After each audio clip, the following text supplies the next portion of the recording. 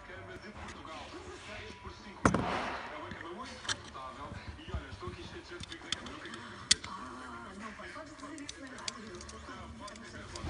Manhã da Renascença com Carla Rocha. Acorde a par do mundo entre as 6 e meia e as 10. Preciso escolher a almada de.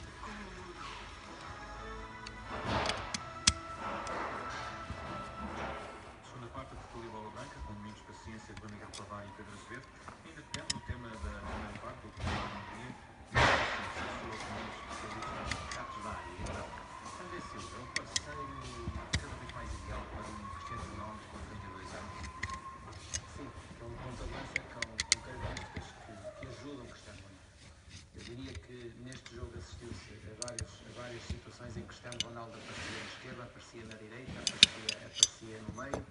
Eh, No fundo, o Cristiano Ronaldo comanda o ataque dessa forma. Eh, Os outros jogam em função do Cristiano Ronaldo, porque quer ele esteja no meio, o Quaresma sabe que tem que estar na direita,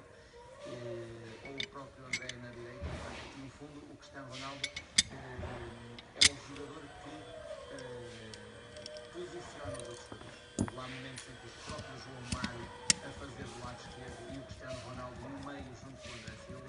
Portanto, joga-se muito em função do Cristiano. E não há dúvida que, sendo o melhor jogador, tem estatuto para isso e tem aquilo que o Pedro disse, que é um jogador que remata fora da área neste momento. Cristiano Ronaldo não vê-se um Cristiano Ronaldo diferente a muitas vezes rematar fora da área. Eh, antes o Cristiano Ronaldo entrava muito mais na área em desequilíbrios e procurar zonas de finalização, muito mais próximo da baliza. Hoje o Cristiano Ronaldo, sempre que tem espaço para estar à baliza, ele chuta. Ainda bem que o faz.